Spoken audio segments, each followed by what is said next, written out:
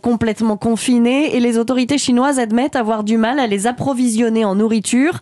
Alors, la colère gronde. Notre correspondant à Pékin, Sébastien Le Belzic. Qui a de quoi manger? Je vais mourir de faim. Par les fenêtres de son immeuble, cette habitante crie son désespoir, repris par d'autres dans son quartier de Wuhan. Sur les réseaux sociaux chinois, ces messages d'alerte se multiplient. Depuis une semaine, les 13 millions d'habitants de la ville de Xi'an sont confinés chez eux après la découverte d'un peu moins de 1000 malades du Covid. Mais les autorités ont du mal à endiguer cette nouvelle flambée épidémique et ont renforcé les mesures de confinement. Il leur est désormais interdit de sortir pour se ravitailler.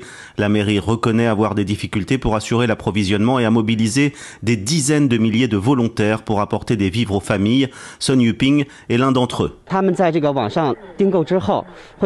Nous livrerons les produits de première nécessité à l'entrée de chaque résidence. Les paquets de fournitures seront désinfectés.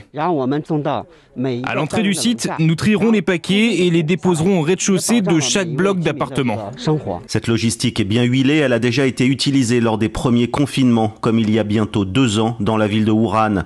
Des mesures extrêmes pour coller aux exigences de la politique zéro Covid prônée par le gouvernement chinois. Pékin, Sébastien Lebelzik, Europe 1. 6h30.